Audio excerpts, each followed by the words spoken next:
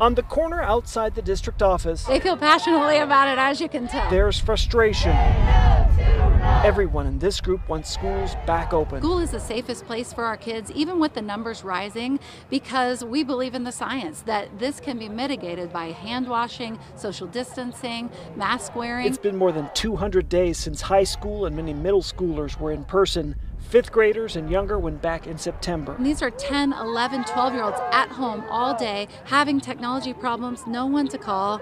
It's just not right. Parents complain about screen time, declining grades, and uncertain futures. Demonstration signs say, time to let kids back to class. I prefer in person school. I would rather do the fun activities there instead of just doing them by myself at home. Nearly 60 people signed up for three minutes each, a public comment to the school board.